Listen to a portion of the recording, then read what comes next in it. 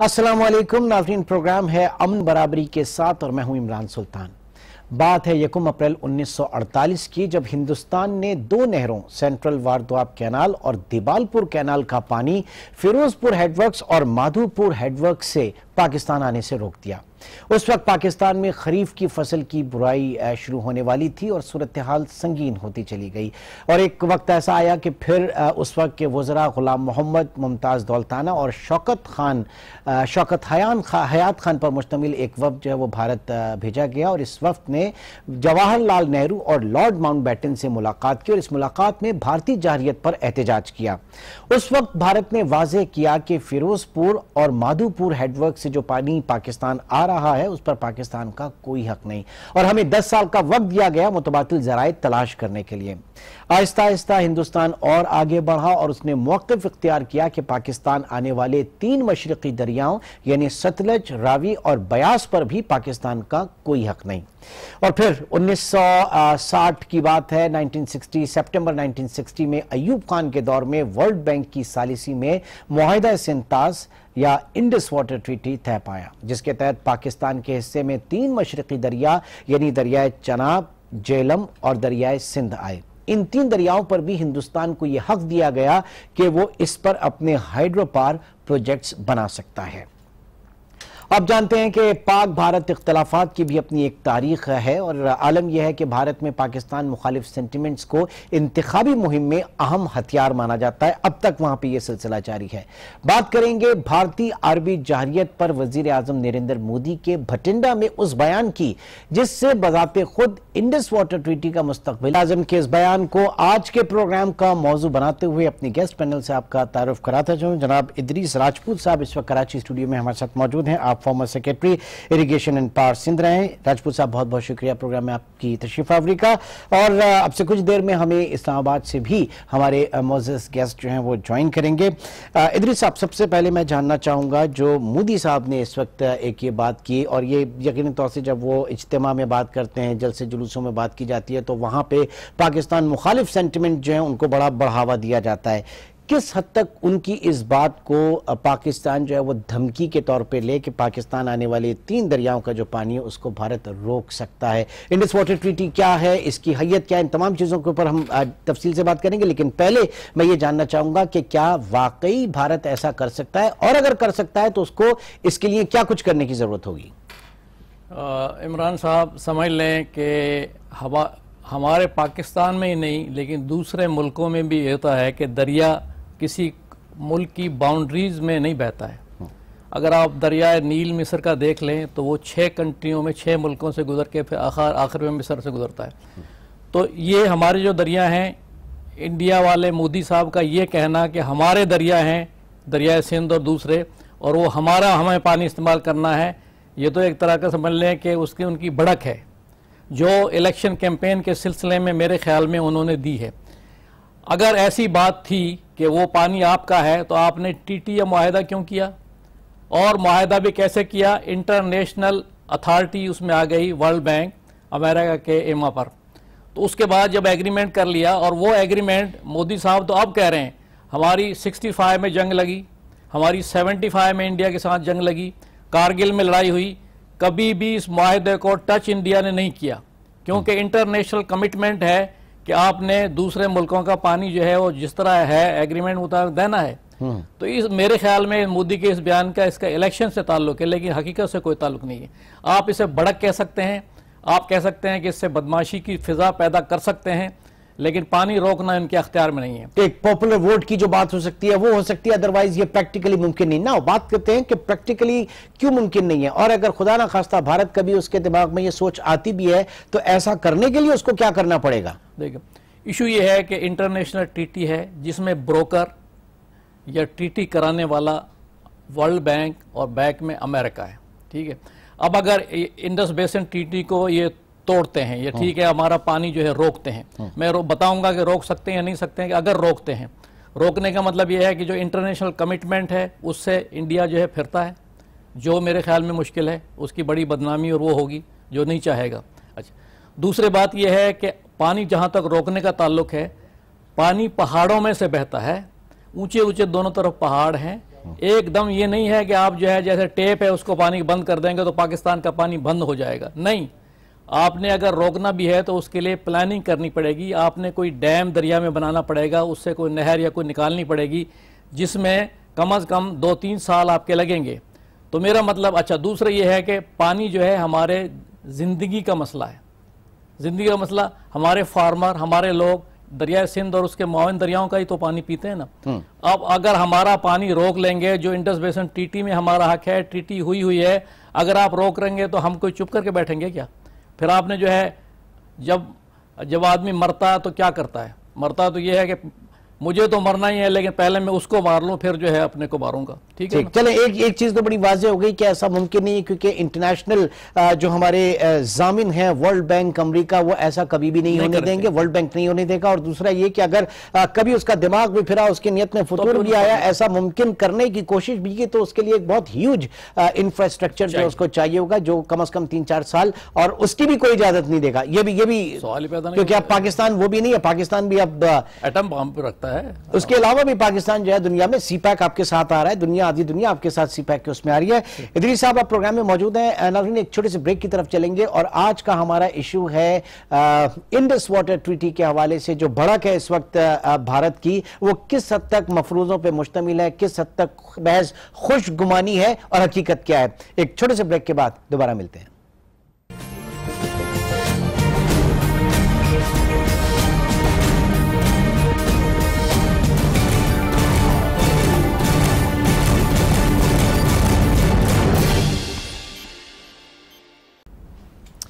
Welcome back नाजरीन Islamabad studio में हमें ज्वाइन किया इंजीनियर अरशद एच अब्बासी ने। आप वाटर uh, एक्सपर्ट हैं वाटर मैनेजमेंट एक्सपर्ट और साथ ही साथ आपका ताल्लुक S D P I sustainable development policy institute से है। आशिष साहब बहुत बहुत शुक्रिया आज न्यूज़ के लिए वक्त निकालने का। सबसे पहले हम जानना चाहेंगे ये भारत जो दरियाए झेलम पर किशन गंगा और दरियाए चनाब पर रिटल हाइड्रो पावर प्लांट बना रहा है अपना मुतनाज़ जो दोनों चीज़ें हैं। मैं ये जानना चाहूँगा कि ये इसके दोनों प्रोजेक्ट्स इंडस वाटर ट्रीटी मुआदा सिंताज की कितनी खिलाफ वर्जी है? और दूसरा ये कि पाकिस्तान का असल ऑब्जेक्शन है क्या इस पे? देखिए रेटली के ऊपर जो आ, पाकिस्तान की जो ऑब्जेक्शन हैं जहाँ तक मुझे मालूम हुआ है वो बेसिकली अगेन टेक्निकल लेवल के हैं। और टेक्निकल लेवल के जो ऑब्जेक्शन हैं वो बगलियार में इसी तरह के हमने रेज किए थे। और उस वक्त 2007 में न्यूट्रल एक्सपर्ट ने आ, ये पाकिस्तान के ऑब्जेक्शन सारे तकरीबन रिजेक्ट कर दिए थे। इसमें सलूस फ्री बोर्ड थे और तीन चार और थे सलूस क्रेडिट थे इसका रिजर्वायर वॉल्यूम था। तो एक तो बात यह कि उस वो पढ़ने उसके जो तीनों डिसीज़न थे न्यूट्रल एक्सपर्ट के वो पढ़ने वाले थे। अब इन्हीं इन्हीं इन्हीं इतरादात को लेके पाकिस्तान चला गया किशन गंगा में। तो किशन गंगा में पाकिस्तान ने मिलिट्री केस तो हार दिया और अब प्रोजेक्ट जो है तकरीबन 95 या 98 परसेंट मुकम्मल हो गया। उसकी टर्बाइन ऑपरेशनल हो गई है। और अब मुझे बताएँ कि ये एक प्रोजेक्ट जब कंप्लीट हो गया है तो ये वहाँ पे क्या लेने जा रहे हैं, इसकी समझ ना मुझे है, ना दुनिया के कोई और, जिस बंदे को एबीसी पता है वाटर मैनेजमेंट की या इंटरनेशनल वाटर डिस्प्यूट्स की तो वो सोचते ये क्या हो रहा है। क्योंकि हम बायर भी कंसल्टेंसी देते हैं इसी सिमिलर नेचर्स की। तो ये एक ये एक, एक मुहिमा है समझ नहीं आ रही कि आप किशन तो ये ये ऑब्जेक्शन ये ऑब्जेक्शन ये ऑब्जेक्शन पहले क्यों नहीं रेज किए गए और उसमें फिर डिले कहाँ से हुआ? अगर आपका केस थोड़ा सा कमज़ोर हुआ तो किस बिना पे हुआ फिर? देखिए क्लिप पे 2014 में एक बीसीबी ओपिनियन मांगी गई थी शायद प्राइम मिनिस्टर हाउस मैंने भेजी थी। उस वक्त कहा था जी, ये ये इस पे ऑब्जेक्शन है डिज़ाइन लेवल के ऊपर, अगर आपने रेज करने तो कर दीजिए। स्पेशली तीन चार और भी थे मसलन वो ये भी थे, कि जैसे जब जो डिसीज़न हुआ था बगलियार डैम का, थोड़ी टेक्निकल बात है, कि जी उसमें तीन चार प्रोविज़न थी, जो न्यूट्रल एक्सपर्ट ने फैसला किया था न्यूट्रल एक्सपर्ट ने, वो बुलेटिन थे इंटरनेशनल कमिश्नर लाल डैम के ऊपर। तो उसी बेस के ऊपर ये था कि इनकी स्ट्रक्चर स्टेबिलिटी का भी जरा ले लें। अर्थ को एक जोन है देखे पाकिस्तान में क्या इंपैक्ट पड़ता है इन केस ऑफ़ ब्रीच क्योंकि बोज डैम्स के जो ब्रीच होते हैं। लेकिन ये 2014 की बात है, अब वो भी अगले साल मुकम्मल होने लगा एक बात हमें समझ नहीं आती कि ये ऑब्जेक्शन उस वक्त रेज कर रहे, करते हैं कि जब ये प्रोजेक्ट मुकम्मल हो चुके होते हैं या हो रहे होते हैं। पहले पाकिस्तान का केस जो न्यूट्रल एक्सपोर्ट ने रिजेक्ट कर दिया। क्या यही वजह है कि भारत एक बार फिर कोशिश कर रहा है कि न्यूट्रल एक्सपोर्ट में जाए मामला, लेकिन पाकिस्तान कोशिश कर रहा है कि आप इंटरनेशनल ट्रिब्यूनल में लेकर जाएँ। इसका ताल्लुक जो है, हमारे जो दो प्रोजेक्ट है पहले, बगलियार और किशन गंगा से है।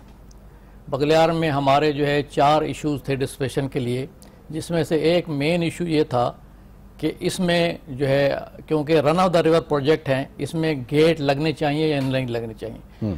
न्यूट्रल एक्समेंट एक्सपर्ट ने तीन चीज़ें तो हमारे फेवर में दी। जो चौथी चीज़ थी गेट वाली उसने कहा कि दूसरे डैमों पर भी गेट हैं इसलिए इसमें भी गेट लगने चाहिए। अब गेट का प्रॉब्लम क्या है? गेट से अगर आप चाहें तो पानी रोक सकते हैं। पाकिस्तान की तरफ़ जो आने वाला पानी ये रोक सकते हैं। अच्छा। अब जब किशन गंगा में हम गए हैं तो वहाँ ये इंडिविजुअल एक्सपर्ट था। वो रेमंड एक नाम नाम का था अपने स्विट्ज़रलैंड का था जो न्यूट्रल एक्सपर्ट था एक आदमी था। तीन चीज़ें उसने हमारे फेवर में कही एक चीज़ जो गेट लगाने वाली थी वो हमारे खिलाफ कही ठीक है? हम्म। अब वही मसला गेट लगाने वाला जब किशन गंगा में गया तो इंटरनेशनल ट्रिब्यूनल ने फैसला कहा कि नहीं गेट नहीं लगने चाहिए और वो पाकिस्तान को सूट करता है। क्योंकि गेट लगते हैं तो पानी रोक सकता है इंडिया हमारे क्योंकि दुश्मनी है उनसे तो कभी भी हमें तकलीफ़ दे सकता है। अच्छा लेकिन उन्होंने साथ में ये भी कहा किशन गंगा के प्रोजेक्ट में कि जो उसने पहले फैसला किया है वो बरकरार रहेगा लेकिन आइंदा और अब इसमें जो है नए प्रोजेक्ट में गेट नहीं लगने चाहिए। ठीक। तो अब अब ये मामला जो है ये कहा जा रहा है अच्छा, भारत की तरफ़ अब मैं ये कह रहा हूँ ना अब हम्म। अब वो इंडिया क्यों कह रहा है कि भाई आप जो है वो न्यूट्रल एक्सपर्ट के पास जाएँ और पाकिस्तान क्यों कह रहा है कि हम जो है इंटरनेशनल आर्बिट्रेशन में जाएँ। इसलिए कि न्यूट्रल एक्सपर्ट जो है प्रेजुडिस हो सकता है एक आदमी है। इंटरनेशनल कोर्ट जो है वो समझ लें कि टोटली न्यूट्रल है हम्म। वो फैसला करती है जो मतलब दोनों के आर्गूमेंट सुनने के बाद तो क्योंकि इंडिया को पता है कि हमारे न्यूट्रल एक्सपर्ट ने उनके फेवर में फैसला दिया वो सूट करता है उन्हें। हो सकता है आगे चल के सूट कर जाए। सूट कर जाए। हाँ। इसी तरह हम उसमें इंटरनेशनल ट्रिब्यूनल ने जो फैसला दिया वो दिया कि गेट नहीं होने चाहिए। ठीक है। अरशद साहब यहाँ पे दोनों ने अप्रोच किया वर्ल्ड बैंक को जो कि जारे के जामिन था इस पूरे इंडिस्पोर्टेड ट्रीटी का। और वर्ल्ड बैंक का ये कहना है कि जनाब आप दोनों इस मामले को बाहमी तौर पर जो है वो रिजोल्व करें। और आज की इतला यह है कि जो लेटेस्ट डेवलपमेंट है कि भारत ने अप्रोच किया वर्ल्ड बैंक को कि आप जरा थोड़ा सा साइड में रहें। क्योंकि पाकिस्तान के जो एतराजात हैं, वो टेक्निकल ग्राउंड्स के और उसको हम लोग मिलकर आपस में तय कर लेंगे। क्या क्या टेक होगा आपका इस पे?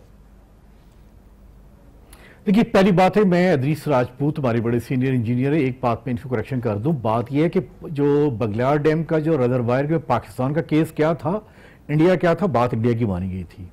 स्वाय फ्री बोर्ड के अलावा पाकिस्तान की कोई बात मानी नहीं गई, बल्कि एक बात यह भी कही गई थी कि जरा देखें कि ये जो आप फ्लैशिंग फैसिलिटीज़ की बात कर रहे हैं दुनिया भर के जो 87 परसेंट अब जो डैम बन रहे हैं उसमें फ्लैशिंग फैसिलिटी है इवन पाकिस्तान में भी आज भी जितने भी जो ये खान ख्वार अलाई ख्वार ये सारे रन ऑफ़ रिवर प्रोजेक्ट हैं ये नीलम जिलम इसमें फ्लैशिंग फैसिलिटी है। बात बड़ी एक ये एक दूसरा किशन गंगा में हमने केस आ रहा है हमने रिवर डाइवर्जन पूरी करा ली है।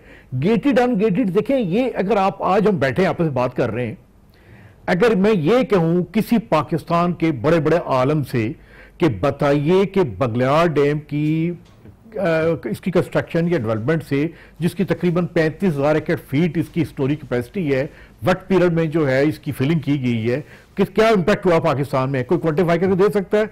मैं सच्ची बात कह सकता हूँ, कोई जवाब नहीं दे सकता, एक। दूसरी बात यह कि जी, क्या इंटर कहाँ जाना चाहिए? क्या न्यूट्रल एक्सपर्ट्स के पास जाना चाहिए या इंटरनेशनल कोर्ट ऑफ़ आर्बिट्रेशन चाहिए? डिपेंड करता रहा आपके तजाद के ऊपर। अगर आपके तजाद टेक्निकल लेवल के हैं जो नेक्चर डी और ई में आते हैं तो फिर तो आपको न्यूट्रल एक्सपर्ट पे जाना चाहिए। अगर कोर्ट पे जाते हैं न्यूट्रल कोर्ट ऑफ़ एक्सपर्ट्स में जहाँ आपने कुछ और एडिशन करानी है कोई अल्ट्रेशन करानी है जो बेसिक्स में फिर न्यूट्रल कोर्ट फिर कोर्ट ऑफ़ आर्बिट्रेशन में जाना चाहिए। ठीक है ठीक है। मेरी यहाँ पे जो बात है जो मेरी समझ में है जो हमें भी स्टेटस पता लगता रहता है और बल्कि अपडेट पता लगता रहता है कि अब जब किशन गंगा मुकम्मल हो गया दो टर्बाइन ऑपरेशनल हो गई हैं अब देखें कौन सा फैसला देता है कोर्ट तो तरफ़ जानना चाहेंगे और उसके बाद हम बात करेंगे कि ये डिले जो हो गया था मामला इसमें इंडस वाटर कमीशन जो है उसका क्या किरदार है? हमारे जो कमिश्नर है इंडस वाटर कमिश्नर वो किस तरीके से मामले को परसू कर रहे हैं? छोटे से ब्रेक के बाद दोबारा मिलते हैं।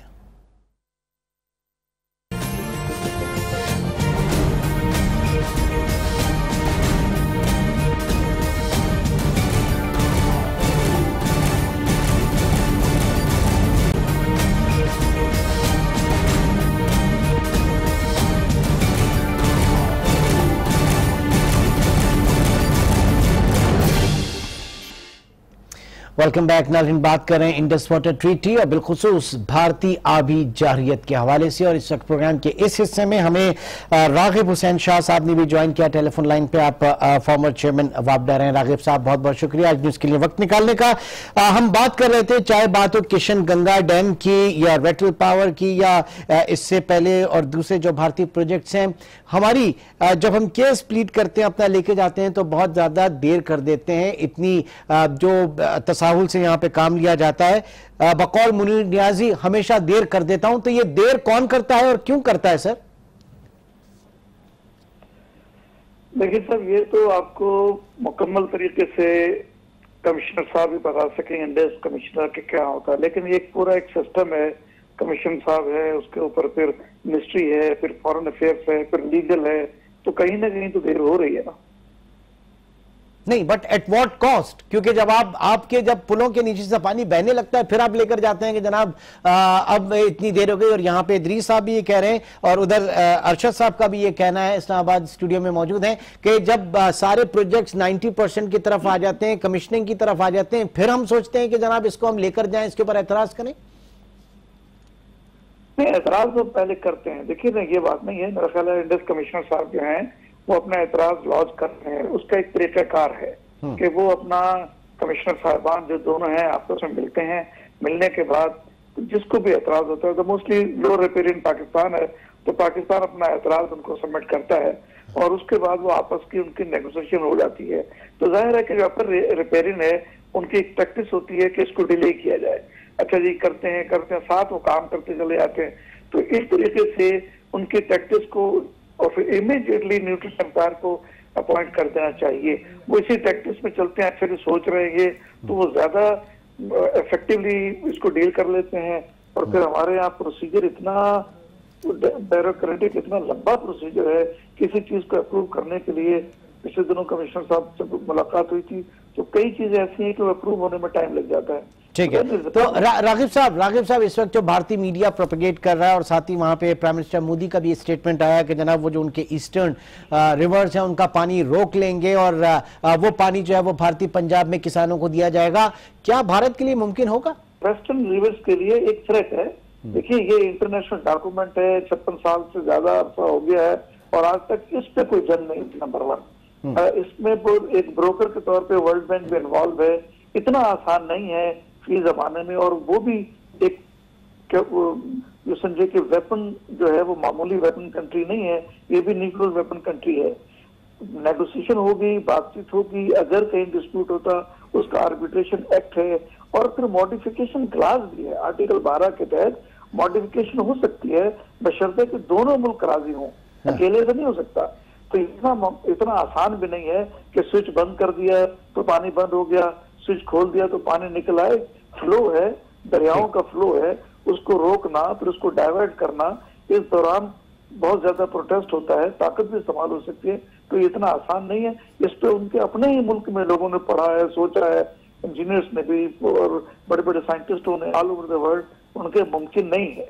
अच्छा इस थ्योरी को हम बिल्कुल मान लेते हैं उन करते हैं इसको। थोड़ा सा और आ, मैं आगे जानना चाहूँगा कि जब ये 1960 में इंडस वाटर ट्रीटी जो हुई थी उस वक्त पाकिस्तान की पॉपुलेशन ले आज पाकिस्तान जो है 18-20 करोड़ आ, की पॉपुलेशन हो गई। इंडियन पॉपुलेशन एक अरब 25 करोड़ आ, की वहाँ पे आवाम है।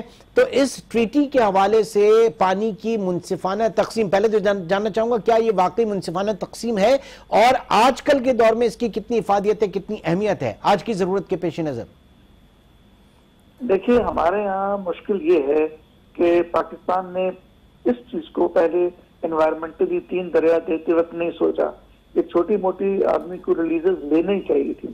तो चलिए वो तो एक गलती हुई स्टार्ट में। अब जो एक्ट बन गया या ट्रीटी हो गई तो उसके मुताबिक भी पाकिस्तान को अपनी ज़रूरत के मुताबिक जो आप देखें कि गर्मियों में तो पानी हमें बहुत मिलता है लेकिन सर्दियों के प्रॉब्लम जिसको रबी की फ़सल कहते हैं उसके लिए ही हमने ये कैरी ओवर डैम्स बनाए ताकि इनको इस्तेमाल किया जाए गर्मियों में। तो अब ये पाकिस्तान अब भी इतनी हमें देर हो रही है कि हम वो कैरी ओवर डैम्स नहीं बना सक रहे जिसकी वजह से हमें शॉर्टेजेस डेवलप हो जाती है। पानी तो वही रहता है। हम्म। पानी तो देखिए ना बढ़ता न करता आबादी बढ़ रही है। अब उसको यूटिलाइज करने के लिए बड़े तरीके हैं। उसमें एक रिजर्वायर कंजर्वेशन भी है जमा करना भी है। तो वो हम एक्चुअली साइंटिफिक तरीके से कर नहीं रहे हैं। ठीक। अरशद साहब आप आप तक मैं ये सवाल रखूँगा ये सोच रखूँगा कि आज की ज़रूरत के हिसाब से क्या इसको रिवाइज करने की ज़रूरत है? क्या इसमें कुछ और चीज़ें ऐड हो सकती हैं? आज की ज़रूरत के तहत इंडिया और पाकिस्तान दोनों के हवाले से। देखिए जिस अगर आप बगलियार डैम की डिसीज़न पढ़े तो उस डिसीज़न में बड़ी अपॉर्चुनिटी निकलती थी पाकिस्तान पे। उसमें जो स्विस एक्सपर्ट था आप यकीन करेंगे अगर मैं अगर मैं होता मैं भी फैसला यही करता। हाँ। बात ये कि उसने कहा था कि जी क्लाइमेट चेंज एक रियलिटी है और क्लाइमेट चेंज उसने वो यूज़ किया। फिर इंटरनेशनल कमिश्नर लाल डैम के जो बुलेटिन है उसने 228 शायद सॉरी 31 वो उसका ज़िक्र किया कि भाई इसको देखें आप। मैं जब अब अब अब बात ये ये नॉलेज डेवलप करनी पड़ती है आपको कि जब वो बुलेटिन नंबर 31 की बात कर रहा है तो बुलेटिन नंबर टू क्या है? एक छोटे से ब्रेक के बाद दोबारा मिलते हैं।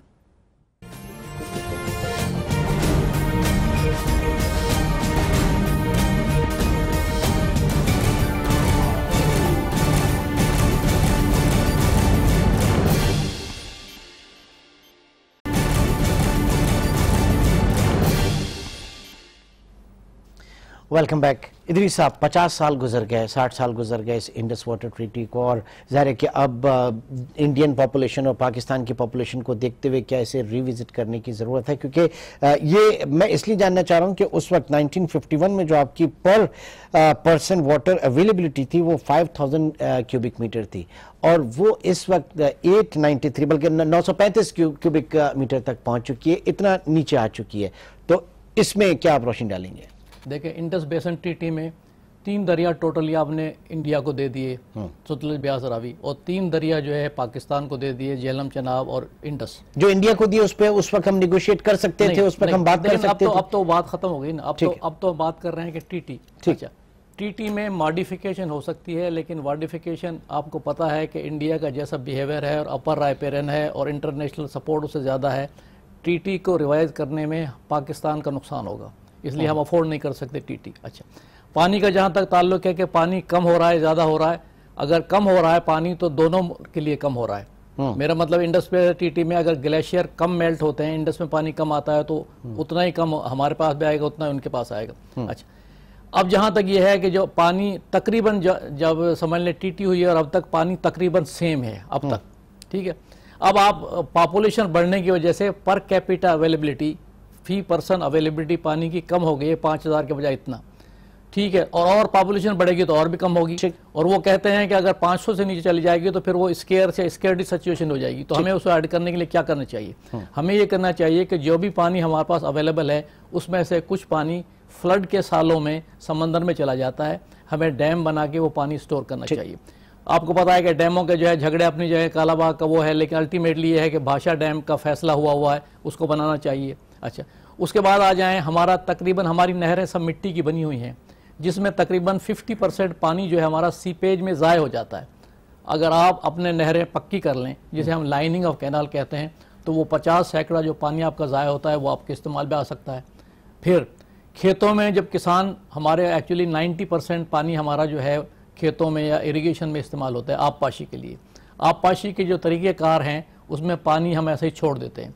उसमें भी तरीके करने क्या है? एक ज़मीन की सतह हमवार करने की ज़रूरत है जिसमें लैंड लेवलिंग कहते हैं। दूसरे ऐसे तरीके इस्तेमाल करें स्प्रिंकल और ड्रिप जिसमें पानी का इस्तेमाल जो है कम होता है। हमारे खेतों में तकरीबन जो पानी आता है उसका 30 परसेंट इन चीज़ों में ज़ाय हो जाता है। तो हमारे पास स्कोप ये है कि हम फ्लड के दिनों में जो पानी मतलब आता है समंदर में जाता है उसको स्टोर करें। और दूसरा ये है कि जो हमारा पानी ज़ाय होता है ज़ाय होने का मतलब ये है कि जो नहरों में या खेतों में पानी का इस्तेमाल सही नहीं होता है सीपेज होता है उसको कंट्रोल करें तो आपकी So, सिचुएशन है ठीक हो अर- अरशद साहब this is the ultimate solution कि पाकिस्तान को जो पानी की किल्लत का सामना है जो आ, हर साल मानसून के सीज़न में आ, पूरे आ, पाकिस्तान से होता हुआ जो एक बड़ी मकदार है पाकिस्तान की अरेबियन सी में जाके जाया हो जाता है वो पानी। उस पानी को जाया होने से बचाने के लिए हम डैम्स की तरफ़ आए और खुदारा ये डैम्स के ऊपर सियासत जो है इसको छोड़ें। देखिए, जो सियासत की बात आ जाती है, इसमें पहली बात ये कि आज तक कभी कारोबार डैम का जो इशू है, वो कभी इंजीनियर के पास नहीं आया, कभी किसी इंजीनियर यूनिवर्सिटी के पास नहीं आया, ना कभी इंटरनेशनल एक्सपर्ट्स की तरफ़ नहीं आया। कुछ बड़ी सीरियस रेजोल्यूशन सिंध की हैं, जैसे मुझे पता है कि मैं बदीन ठट्ठा में मैंने काम किया हुआ है, वहाँ फ्रेश वाटर अवेलेबिलिटी जो है, वो जितना पीने का पानी है, वो थ्रो ब्लो कोटरी जाता है, ये बड़े कम लोगों को इस्लामाबाद बैठे लोगों को पता होता है। फिर एक बात फिर दूसरी बात ये कि अभी मुझे पता है, मैं थोड़ा सा कोई इंटरनेशनल भी कोई काम कभी मिल जाता है। एक बताऊँ कि अभी एक रिसेंट ब्रह्मपुत्रा के ऊपर एक केस स्टडी आया जिस पे काम कर रहे हैं कि इंडिया जो है, भूटान में डैम बना रहा है अपना ब्रह्मपुत्रा के पानी को यूटिलाइजेशन करने के लिए। अब देखिए, जैसे कालाबाग है, अगर हम कालाबाग का रिज़र्व का रिजर्वायर का एरिया और प्लस जो इसका पावर है, अगर ये पूरा एरिया सिंध को दे दें और सिंध इरीगेशन को कहेंगे भाई ये कंट्रोल करें इसको ऑपरेट करें ये सारी है, वो है। कोई वजह नहीं है कि कोई इतराज फिर करेगा। मसला ये कि एक बात बड़ी क्लियर है कि हमारे यहाँ जो इर्सा है ये बात कोई शक ही नहीं है पानी चोरी करता है पंजाब सिंध का। सिंध बलूचिस्तान करता है मैं आपको फैक्ट की बात बताऊँगा। हम्म। अब जब तक आप ये ये कालाबाग का, ये पूरा केस सिंध के हवाले नहीं करते इरीगेशन डिपार्टमेंट के हवाले नहीं करते, उस वक्त तक लगे रहे कहते मुन्नी भाई लगे रहो, ये मिसाल नहीं होगा। एक बात। दूसरी बात ये कि अभी इद्रीस राजपूत ने एक बड़ी अच्छी बात कही है कि जी, ये अगर अगर ट्रीटी हम रिवाइज पे गए तो बिल्कुल हम लासर लूज होंगे। विल बी लूजर बात ठीक ही है कि देखिए, इनको जो तीन दरिया मिले हैं सुतले ब्यास और रावी, उस पर अभी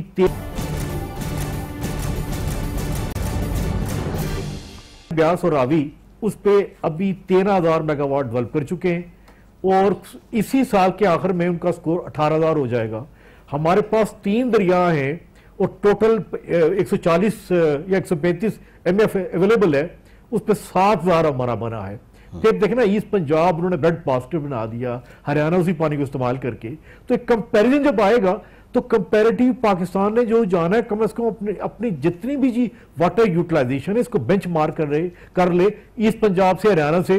तो काफ़ी हद तक बातें जो है वो पाकिस्तान के लिए एक टारगेट आ जाएगा कि क्या करना है। तो सिटिंग जो हमारी थी मुख्तर सी इसमें हमने यही कोशिश की कि जो कॉन्सेप्ट है उसको हम क्लियर करें। आ, कराची स्टूडियो में इदरीस राजपूत साहब हमारे साथ मौजूद थे। टेलीफोन लाइन पर रागिब हुसैन शाह और इस्लामाबाद स्टूडियो में इंजीनियर अरशद अब्बासी साहब ने हमें ज्वाइन किया। आप तीनों हजरात का बहुत शुक्रिया।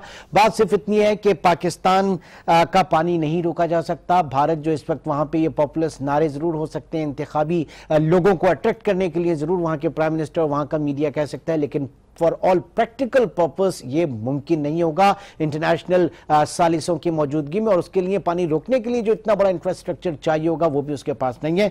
तो ये सिर्फ़ एक नारा ज़रूर हो सकता है लेकिन साथ ही साथ हमें भी अपनी आ, पानी की जरूरियात को पूरा करने के लिए डैम्स की तामीर जो है इसके ऊपर बहुत ज़्यादा फोकस करना होगा।